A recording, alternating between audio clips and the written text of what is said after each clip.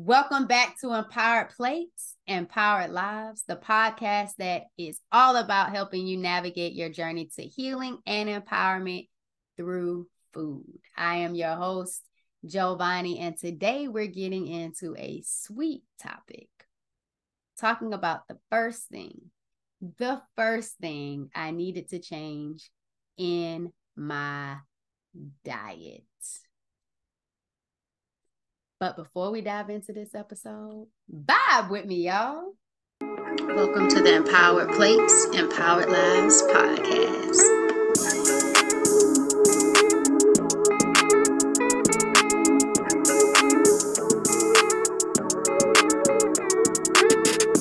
Okay, okay, okay, okay.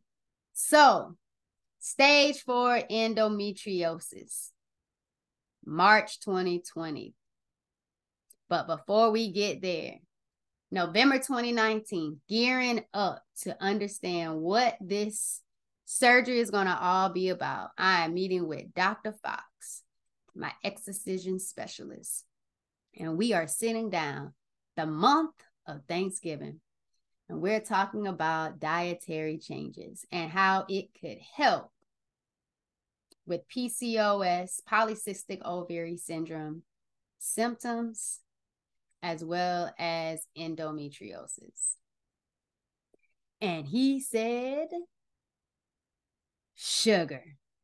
Okay? Sugar. And he started with fruit. He said that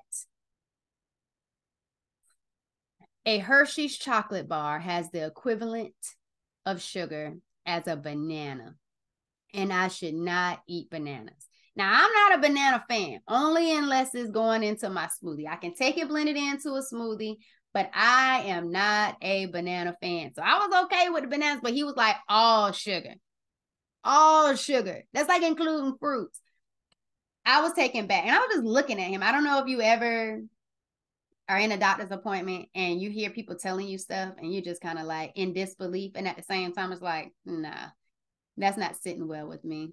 Not happening. Similar to that birth control story i was telling you or that episode it just wasn't for me. And i'm like fruit though? Like i i study health promotion. It's now public health at coastal carolina university. Chance up c i n o and we talked in our nutrition class about the power of fruits and needing it. And I'm just like, how is he taking fruit? How, what is this endometriosis thing? What is PCOS to where fruit is a bad thing? Banana and a Hershey's chocolate bar. How do they even add up?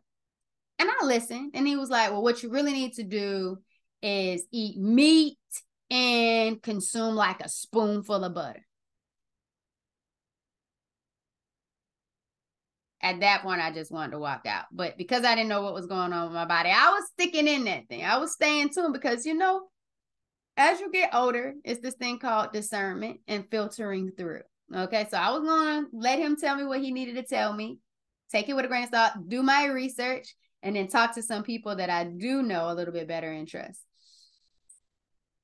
At this point, my diet was more of a pescatarian.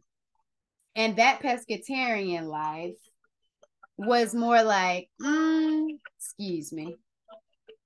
That pescatarian life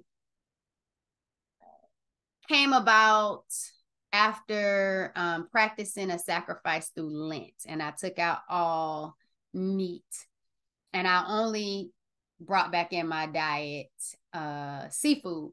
So at this point, you're talking to a pescatarian, someone who doesn't eat meat, only seafood, and you're telling me I need to go back to eating meat. And I had no interest in eating meat, no interest at all with eating meat, let alone getting in a scoop of butter. That that wasn't me. So I listened, I listened, I listened. I talked to a OBGYN that's one of my sorority sisters, and she was like, you can definitely get fruits do have a lot of sugar in it. You have to be mindful of what type of fruit you're consuming. Um, but it's natural sugar. It hits differently than processed sugar. Okay, I I can I can handle that. But it was this conflict of fruit that really threw me off, let alone all the good other things of sugar I like that are processed, like cake. Oh my goodness. There was this plant-based restaurant, shout out to them. I think it's called um, Sweet Theory in Jacksonville. At the time I was living in Jacksonville, Florida. Amazing. Loved it. I was a sucker for Krispy Kreme donuts. That hot now sign on a whole different experience. I love sweets. I had sugar cravings like most other PCOS and endometriosis people have. It's those sugar cravings that can really make us feel like a hostage in our own body. Okay. It was another scenario before diagnosing. I had a drink, an alcoholic beverage. And when I tell you that one drink had me so sick, and I'm like, no way I'm a lightweight now. Like I used to take shots of Everclear in college. Not that I'm boasting. That was back in the day. And I love me some blue juice. Shout out to the Sigmas. That was my favorite juice on campus, the blue juice. Oh my goodness. I used to request that from my Sigmas on campus. I request my own container of blue juice whenever they was making. Let me get my own little batch, my own little jug. But I was with one of the bros and we had a drink and that night I got so sick. I got so sick. And I was like, what is wrong with me? What is going on? Like I, I knew it just wasn't alcohol. I had no idea alcohol is sugar. It was definitely the case. Um, so I realized that was real. This is November 2019. He's talking to me about dietary changes. That December, my family takes a Christmas trip to Savannah. Shout out to the embassy they have professional happy hour. I got a mixed drink there and a wine. Monty was like, it shouldn't do anything. It's lightweight. Felt nauseous after drinking that one. Just one, nothing hard. I was just like, I gotta leave it alone. I gotta leave. I just gotta leave it alone. So it made me a believer that sugar was really an issue for me because of how my body responded. It might not be an issue to other people who could still consume um, alcoholic beverages, but it was a problem for my body because everything is different. Everyone's journey is different. Um, and that's the whole purpose of being able to talk about um, our journeys of strength, those of us that come on this platform to share their experiences with PCOS or endometriosis or adenomyosis, um, things that I've been diagnosed with. Like, I love to learn so much more about what they've experienced, what their journey looks like, how they've overcome. Um, but that alcohol and those symptoms afterwards, I was just like, I'm done. Alcohol, you can have it. Recently, I wouldn't say recently, but as of last year, this is 2022. I had to give away my paydays and I love paydays. And I went for paydays because they were gluten free. So I was still trying to stay within the gluten range and I was trying to, you know, do it in moderation. Paydays took me out. And I was like, okay, it sounds like I need to let those paydays go. And that's okay. I can let the paydays go. Um, and the reason why I can let the paydays go and I can let the alcohol go is because I know that it's an act of self love and self care for my life experiences. I want to stop being a victim of my cravings and continue to eat things just because I know I love to indulge them when it doesn't make my body feel good after I eat them.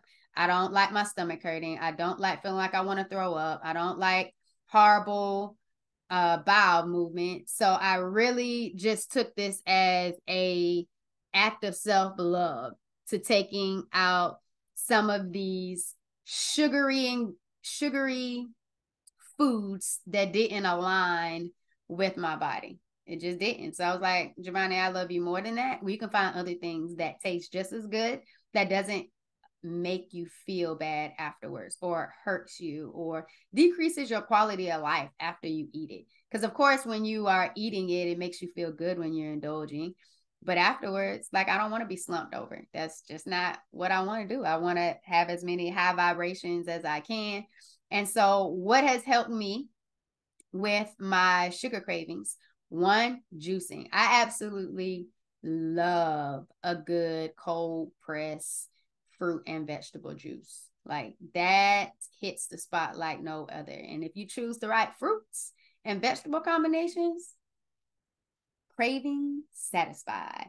The second thing is a good smoothie. A really good smoothie can really help with that. I um really like Just Move supplement smoothie, black owned, woman owned.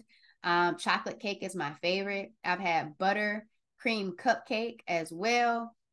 Um, let me know if you need a little discount. I have a little code for you to help you with that first order. But just move supplements, being able to get a chocolate. I really want to try their apple pie, the apple pie smoothie protein shake. I would like to try that. So that's another thing smoothie. So juicing number one, smoothies number two, and then a good nut and berry combination, like dried cranberries of some sort with mixed in with nuts.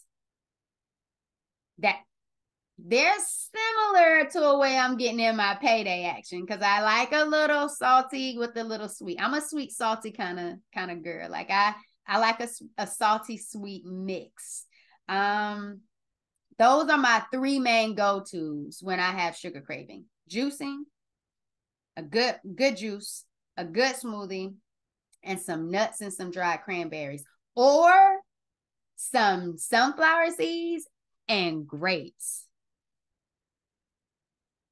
I'm trying to tell you, it does not make me feel bad afterwards, slumped over, nauseous, or want to throw up.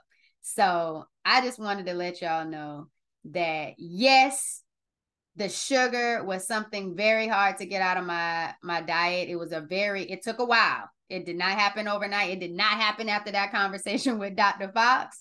Um, but even when it comes to carbs, so it's carbs translate into sugar as well. So I had to also go through in a low carb um, transition, low, low carb dietary changes as well. But we can get into that in another episode.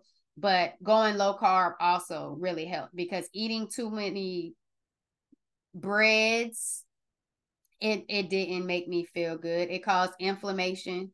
It caused the hormonal imbalance. It, it's just not ideal for me and my body and how my body responds. So the way I make conscious decisions to change them and find delicious alternatives is the ultimate self-love and self-act for me. And I just want to motivate those who might be struggling with sugar cravings to find other alternatives that taste really good, that you enjoy, that your body responds well to.